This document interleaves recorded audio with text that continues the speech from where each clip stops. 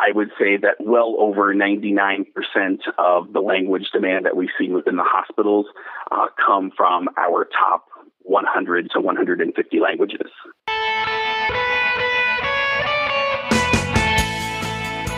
Welcome to the Business of Healthcare podcast from the Center for Healthcare Leadership and Management. The center is based at the Naveen Jindal School of Management at the University of Texas at Dallas. The show, like the center, brings together business leaders and other forward thinkers to discuss how best to meet the challenges of a rapidly changing, increasingly complex healthcare industry. I'm your host, Dr. Bob Kaiser, Director of the Master's Program in Healthcare Leadership and Management for Professionals. Today, we're connecting with two healthcare professionals who specialize in translation and interpretive services. From Austin, Texas, we have Esther Diaz. She's a translator and interpreter trainer She's also the co founder of TAHIT, T A H I T, and that stands for the Texas Association of Healthcare Interpreters and Translators. She's also an advocate for language access. In addition, from Houston, Texas, actually Galveston, we have Manuel Higginbotham. He's the manager of language access services for the University of Texas Medical Branch at Galveston, and he's also the current president of TAHIT. And we are in the UT Dallas office, so we're connecting the dots across Texas. So, welcome to you both. Thank you. Thank you. It's good to be here. Okay, so, you know, the Business of Healthcare podcast, you know, we explore many dimensions of healthcare. And in the past, we've had some discussions really centered around some of the social determinants of healthcare, of which one very important item is access to healthcare. And I know language can be a huge barrier just in general limiting access to health care service in particular. So let's start with the problem of not having language support and how it's being dealt with today in the United States. So, um, as our diversity increases across the country, we certainly uh, more commonly experience patients who are unable to communicate with their healthcare providers. Uh, those of us who work in language access in healthcare, um, that is our daily battle, is convincing providers within a hospital that they need to engage with an interpreter, um, that they need to provide written materials to their patients in the languages that they speak, and helping them to understand why it's important and how it makes their jobs easier and uh, how they can do a better job of having good outcomes for their patients. So it sounds to me like the quality factor is a really important thing, Manuel and Esther. Um, you, you want to increase, you know, the quality, improve the quality of communication, and not everybody's aware of the right process, the right procedures. And that's correct. And um, from my experience talking to many doctors, they say that a patient's medical history is the most important diagnostic tool. It's more important than an x ray, an MRI, or any kind of a blood test. And if they can't fully communicate with the patient, then they're deprived of that very important tool to assess the patient's condition and determine a treatment plan. So, not only using interpreters who who claim to speak a language but people who are actually assessed for that language, who are trained in the protocols of interpreting and are truly qualified to interpret, are the people who should be used to interpret.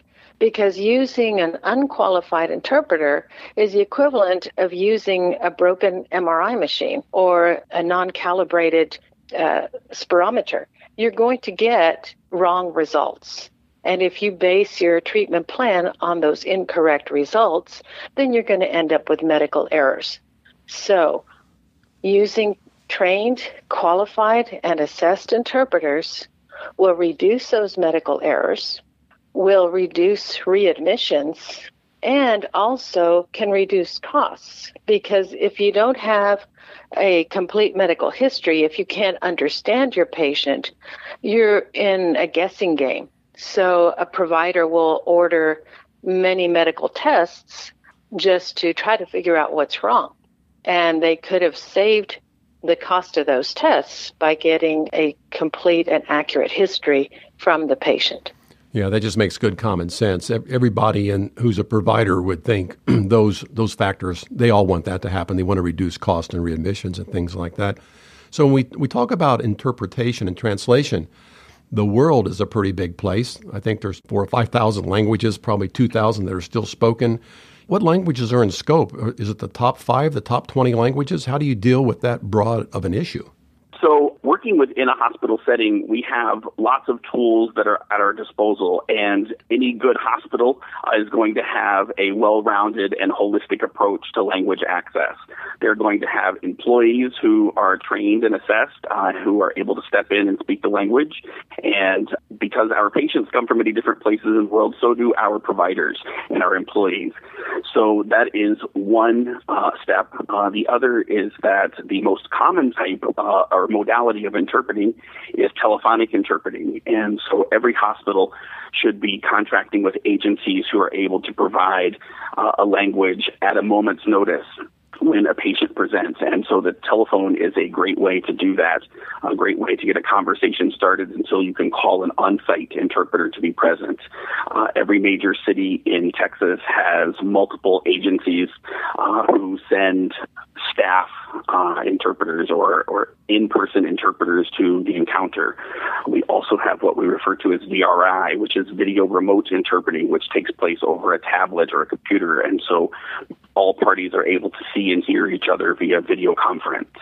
So all of those uh, tools are readily available uh, and are affordable, believe it or not, uh, to uh, hospitals and leadership who care about their patients and, and, want to make sure that they're able to communicate. So, uh, for the most part, you know, I, I think about uh, my history. It's probably been six years or so since a patient has presented when we were not able to find the language uh, that we needed for that patient. So, um, there are tools that are readily available to, to, to bridge that gap. I can only imagine in a large city, Houston being the fourth largest city in the states here, that it's, it's quite um, international and looking at the popularity of languages, you know, Chinese, Spanish, English, Hindi, Arabic, all of those, would you be able to bring somebody in in the hospital or is it actually done on the phone, Manuel?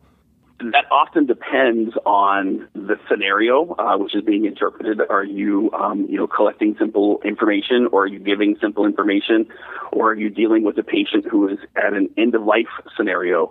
But in general, all of uh, just about all of the languages that we um, commonly see in Texas. Uh, all of those that you mentioned, as well as you know in the Dallas Fort Worth area, we have Burmese, we have Somali, uh, which are emerging languages. But yes, um, those agencies are able to meet those on-site uh, interpreting demands. There are, uh, as you mentioned, about 4,600 languages that uh, currently survive in the world today. Uh, however, we don't see that array of languages typically in our hospitals. Um, I would say that well over 99% of the language demand that we see within the hospitals uh, come from our top 100 to 150 languages. Yes.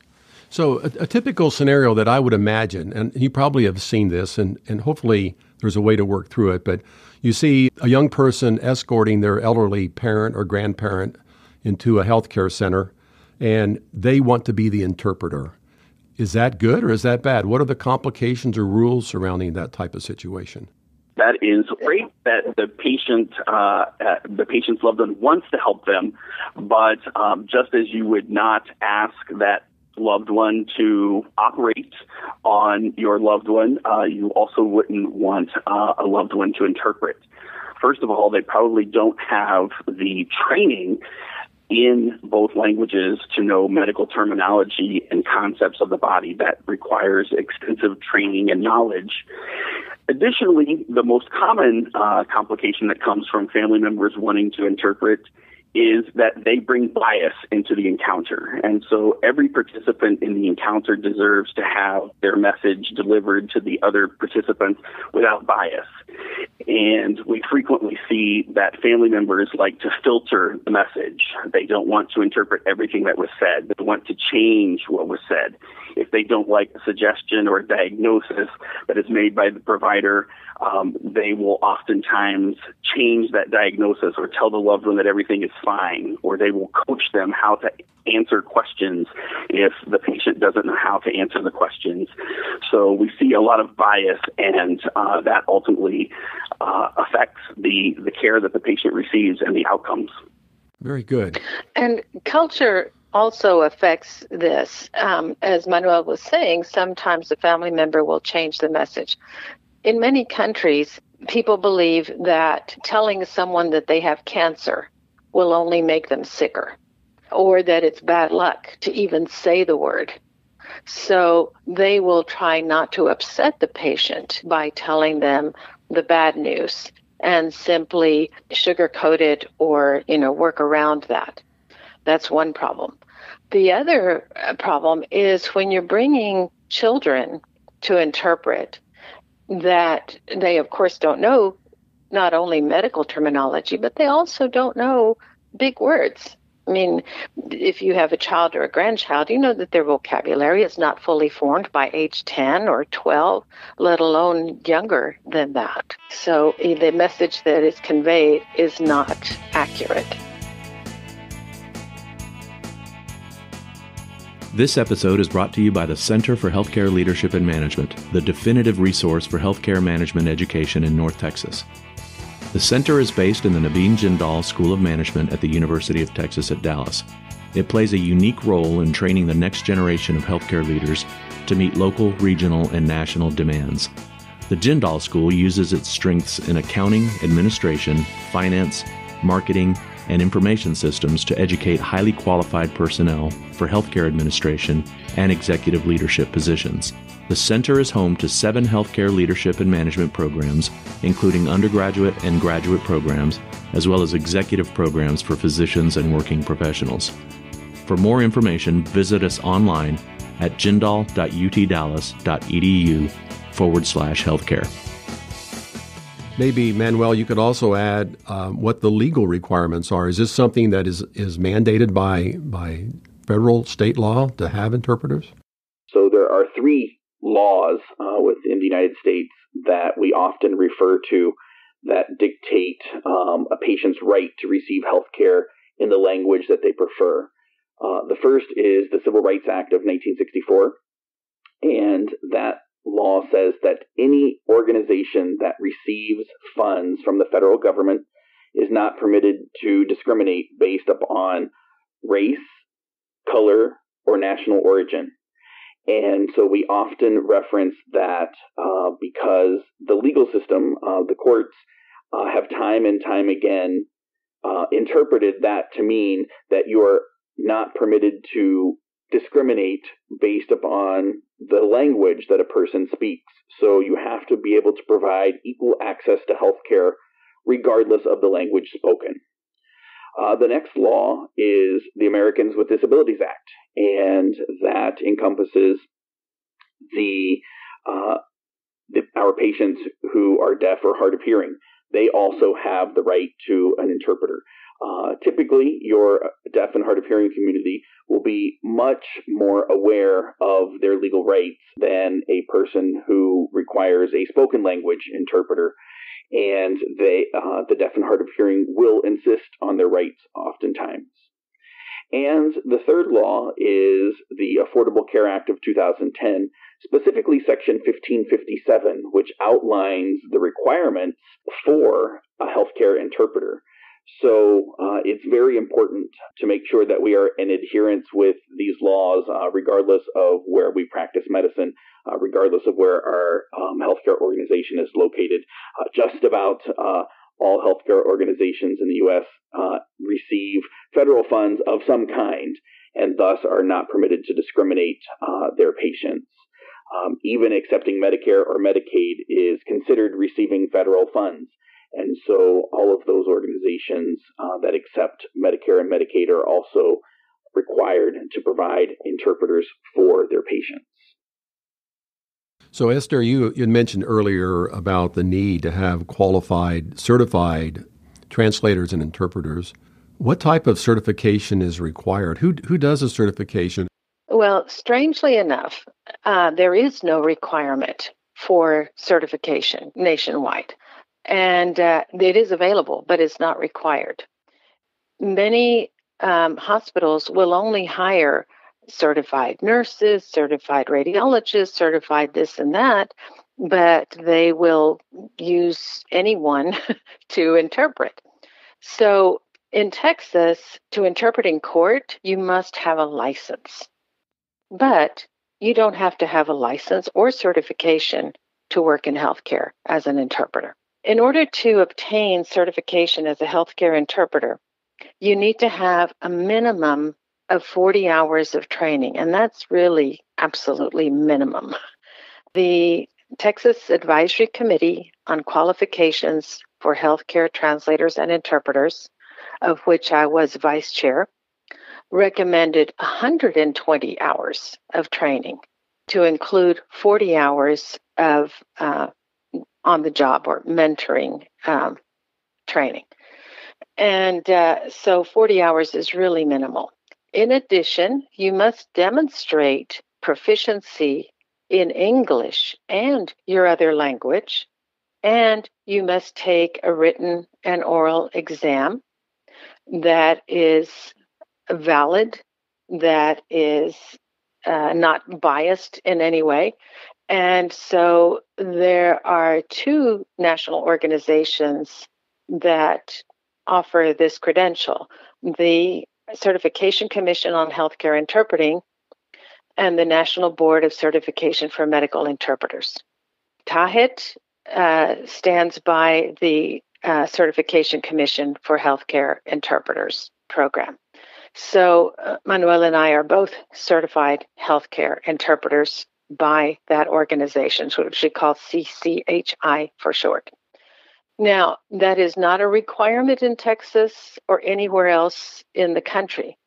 So, we, if you look at it, you know, from from a, a, a human perspective, it's more important for you to have an accurate interpreter in court than it is in a hospital that doesn't really make sense. So we have uh, tried over the years, TAHIT has tried over the years to make uh, certification a, a mandatory qualification, but it is not yet.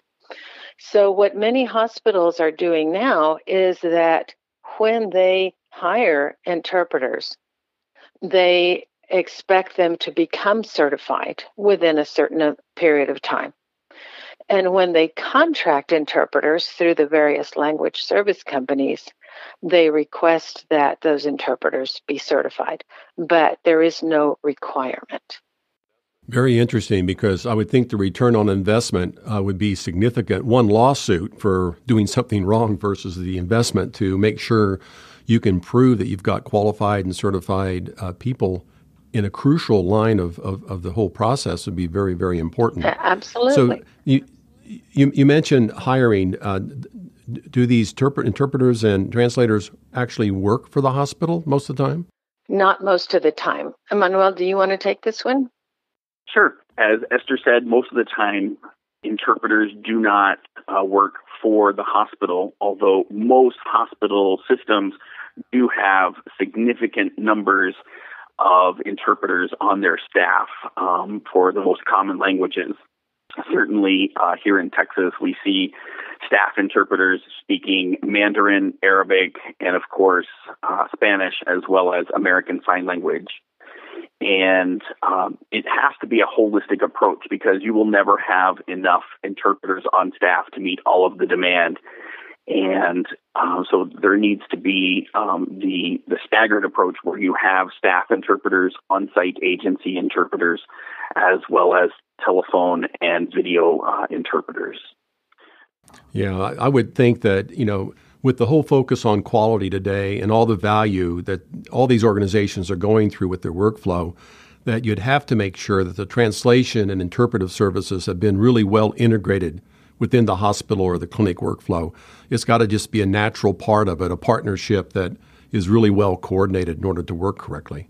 So I could see where that that is very important. You know, you talked about the training requirements. I could see we could spend 40 hours just on code of ethics training alone because that would be a very important component of doing the right thing as well.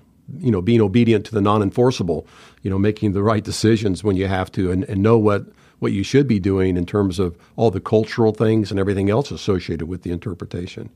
Right. And uh, while there is no no requirement, no no state or national requirement for the use of qualified or certified interpreters, uh, the Joint Commission has incorporated standards of performance to address this, and they became effective uh, January 1st of 2011.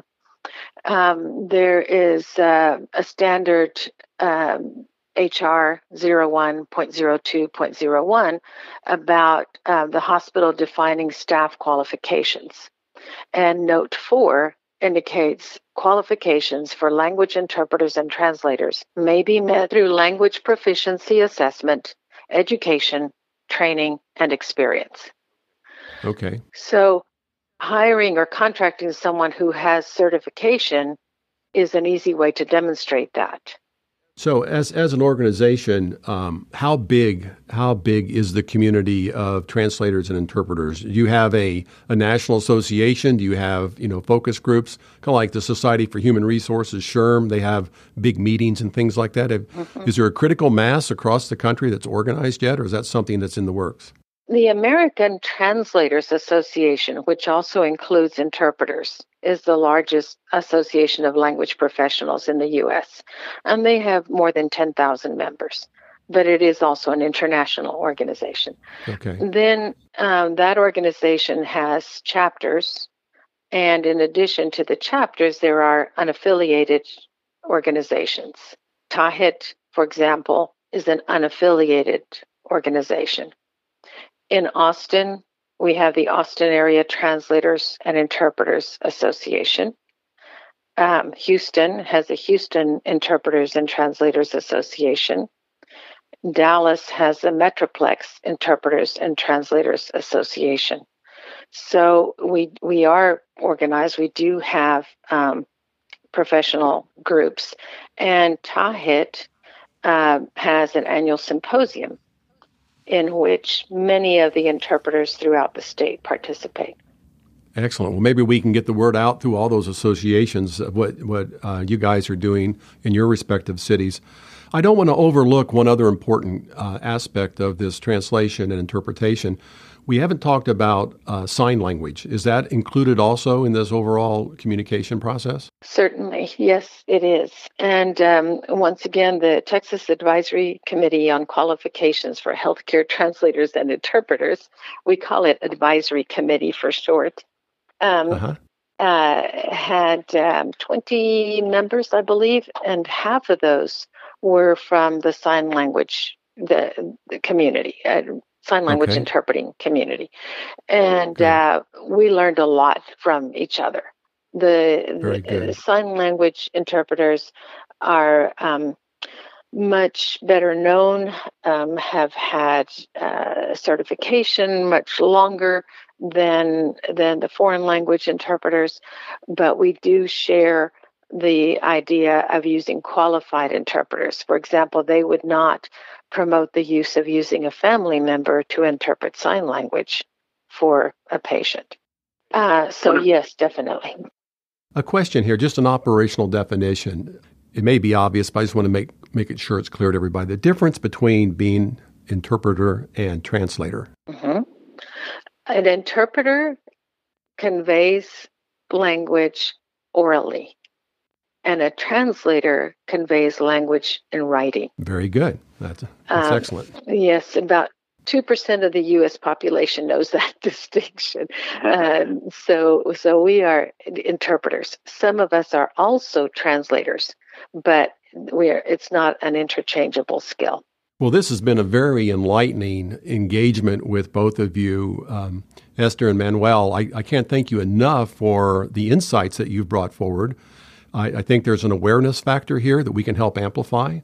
I think there's incredible value that is being communicated by the process and quality improvement that you referenced. So look forward to following you in the future and, and staying current with what you're doing and, and the improvements that you're making. So we appreciate your time today. That's great. And if anyone uh, in the community would like to like help with you know setting up their language program that's something that uh, people within tahit can do and the recommendations from the advisory committee about what to look for in the qualifications for translators and interpreters are also available um, through TAHIT. We will reference your website with the podcast. We'll, we'll contain that in the text file with your podcast. So thank you for that. Um, Manuel, any last comments from you? Appreciate that. And uh, just to reiterate what Esther said, uh, lots of people know that they don't know um, uh, what needs to be done, and we want to be a, a resource for uh, all of the healthcare organizations and providers in Texas and beyond. Uh, we primarily focus on our patients. Our patients are our um, our, our, our priority, but we also represent all stakeholders in language access in healthcare. And if you don't know uh, what you need, uh, come join us for our annual symposium uh, here in Houston, September 13th and 14th. Uh, also, the information will be available on the website. And thank you for the opportunity to help get the word out uh, to providers across the state. Well, thank you both. I look forward to meeting you both in person at some point in time. So appreciate your time today and being part of our team. Thank you very much. Forward to it. Thanks for listening to the Business of Healthcare podcast. Join us online at businessofhealthcarepodcast.com to find episode links, notes, and more. Be sure to subscribe to the Business of Healthcare podcast on Apple Podcasts or your favorite podcasting app. To learn more about the Center for Healthcare Leadership and Management, go to jindal.utdallas.edu and then search under the Center and Institutes tab on the navigation menu. Also, we want to hear from you.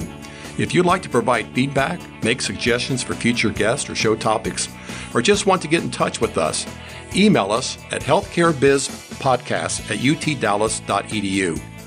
Biz is spelled B I Z. And let us know how we're doing. I'm your host, Dr. Bob Kaiser, with the Center for Healthcare Leadership and Management, where we're leading change by changing how we lead.